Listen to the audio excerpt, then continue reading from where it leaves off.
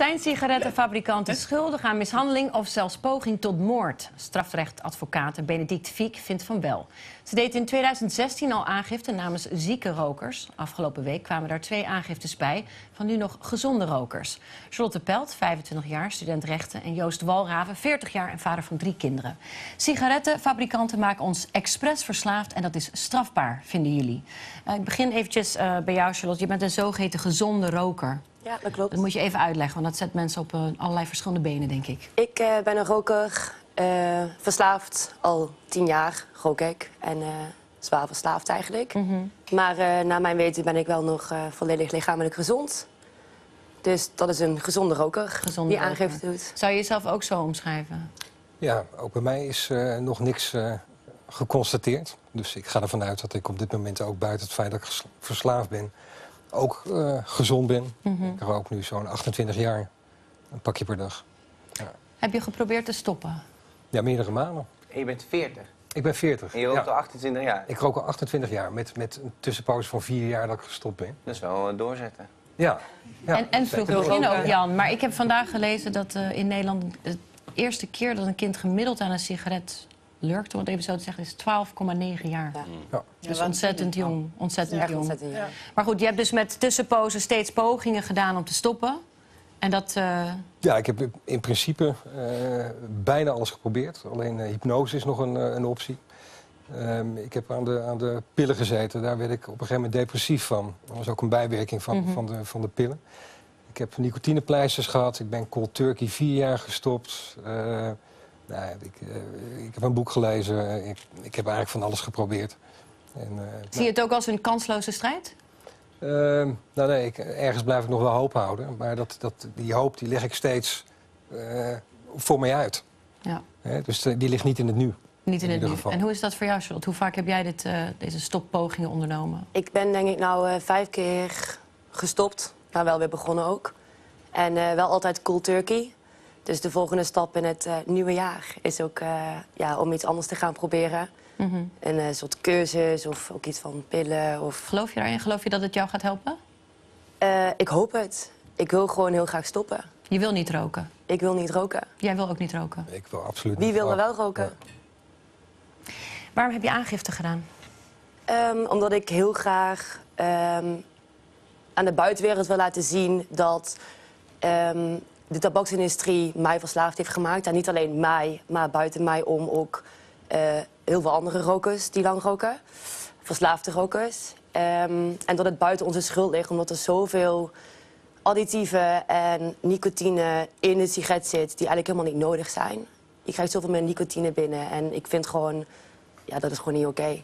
Dus de schuld dat je rook ligt buiten jouzelf om, in jouw ja. opvatting. Ja. Geldt dat ook voor jou? Zie je het ook dat het buiten jou om ligt? Ja, ik, ik heb het hiervoor eigenlijk nooit zo gezien. Ik heb de schuld volledig bij mezelf gelegd. Het is mijn eigen keus. Er zit een vrije wil. Uh, nou ja, ik denk iets wat, wat eigenlijk iedereen wel doet. Ik heb zelf de mogelijkheid om te stoppen.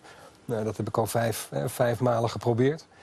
Uh, ik, heb, ik heb wel uh, goede moed, omdat ik heb begrepen dat de gemiddelde roker... Hè, die stopt ergens rond zijn veertigste stopt, dus daar zit ik dicht tegenaan. Oh, dan heb ik nog even. Dan heb je nog even.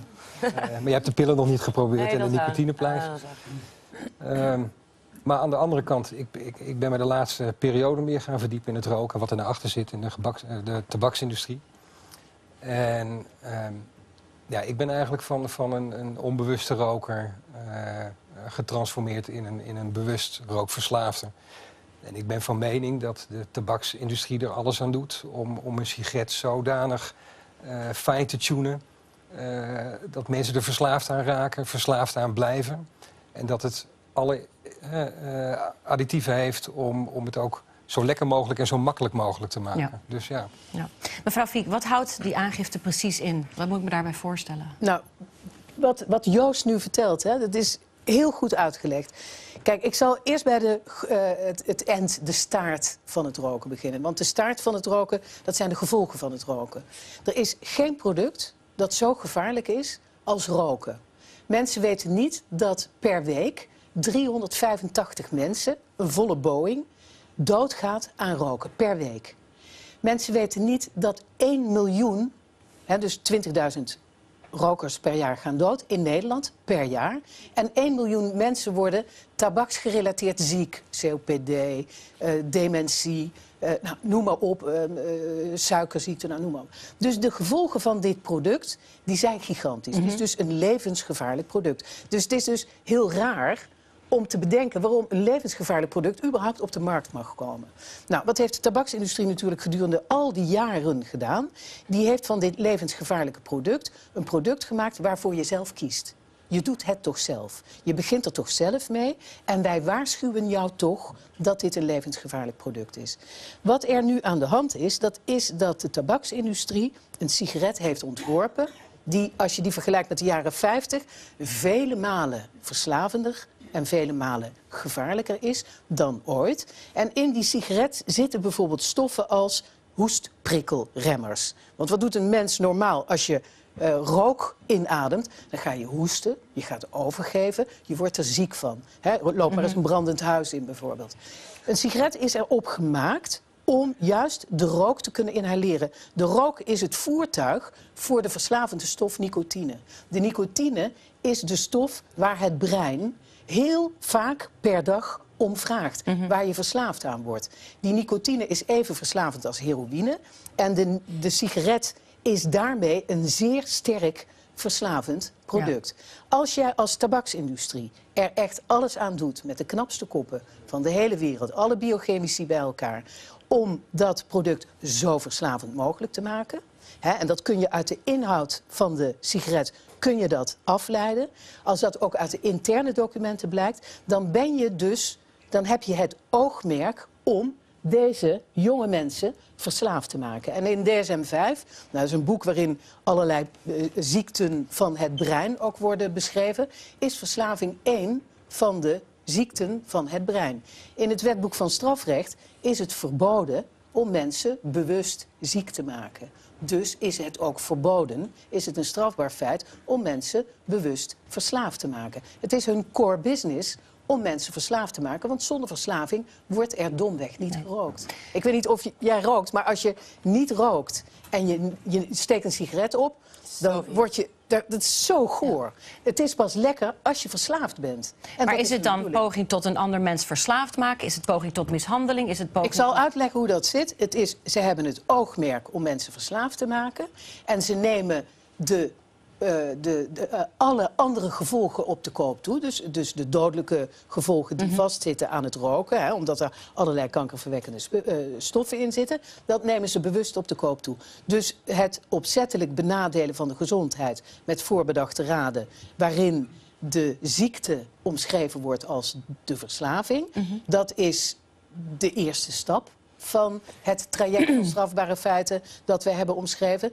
En de andere verwijten, want we hebben ook aangifte gedaan van moord, poging tot moord, doodslag, poging tot doodslag. Nou, dan een hele trits, allerlei andere varianten. Eh, die, ehm, eh, die strafbare feiten die eh, kunnen bewezen worden verklaard omdat, en dat is in het strafrecht, is dat dan een bepaalde formulering, een bepaald leerstuk, omdat je die gevolgen kent en omdat je desalniettemin bewust die gevolgen op de koop toeneemt. Juist. Dus als jij een verslaving beoogt aan fietsen, no problem. Maar als jij een verslaving beoogt Met zoveel aan een negatieve levensgevaarlijk ja, product, dan hang je dus Ja. in de prijs. Even kijken naar de macht van de rooklobby. Tabak. Nog steeds rookt 18,4% van de Nederlandse bevolking. Dat levert de schatkist 2,5 miljard euro aan accijns op. Het gaat dus om heel veel geld. Als we weten bijvoorbeeld dat accijnsverhoging de meest effectieve maatregel is.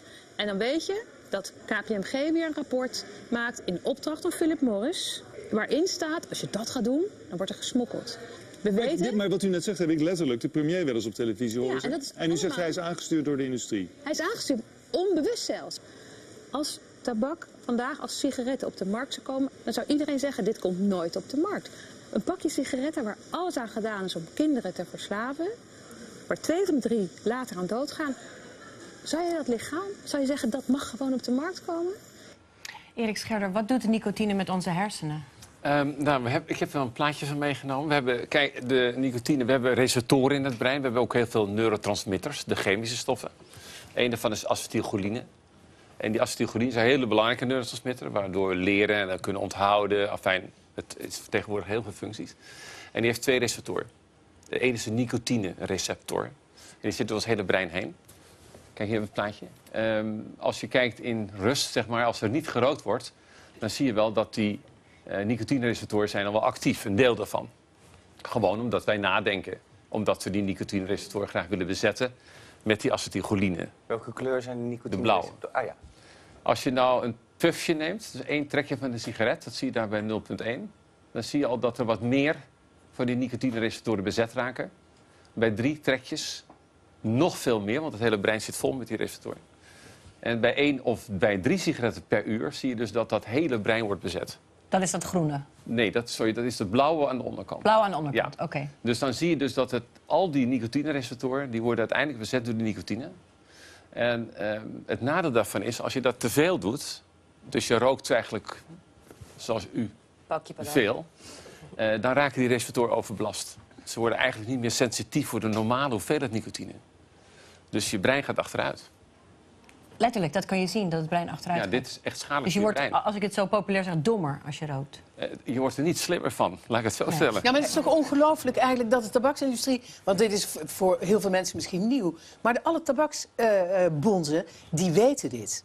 Al- die- Die, weten dit exact wat er gebeurt met het brein. En als je dan een product ontwikkelt dat dit veroorzaakt... een ziekte aan het brein... en als je ervoor zorgt dat er zelfs luchtwegverwijdende stoffen worden toegevoegd... Zodat je nog aan je meer- zodat je nog dieper inhaleert, zodat het ammoniak in de sigaret, zodat er nog een snellere kick is, zodat er nog snellere schade ontstaat in het brein.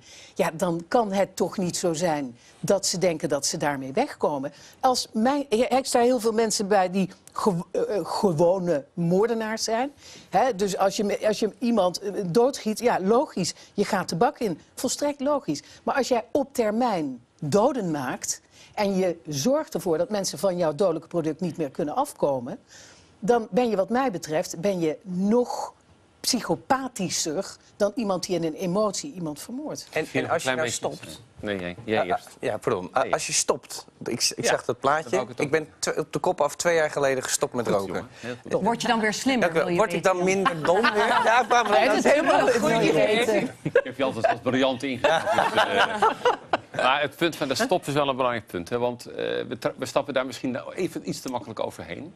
Hè, want eh, u zei dat u vier jaar lang al gestopt Ja. was. Waarom Ja, is ik, het ben, u... ik ben weer begonnen. Hè? Ja, weer begonnen. Maar het is u wel gelukt om te stoppen. Ja, ja. En dat lukt ook heel veel mensen om te stoppen. ja, ja. Dus op de een of andere manier is het niet zo dat je niet kunt stoppen.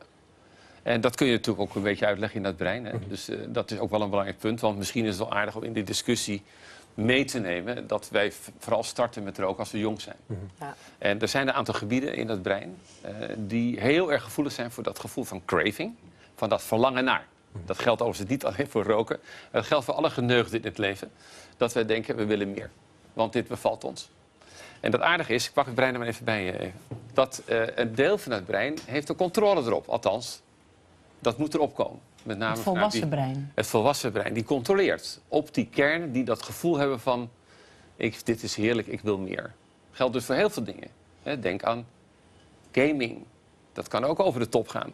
Alcohol. hè, Seks. Super schadelijk. Seks. Maar dat is misschien niet zo schadelijk als we het er net hebben Nee, zeker niet. Zeker niet. maar, maar wel, wel alcohol.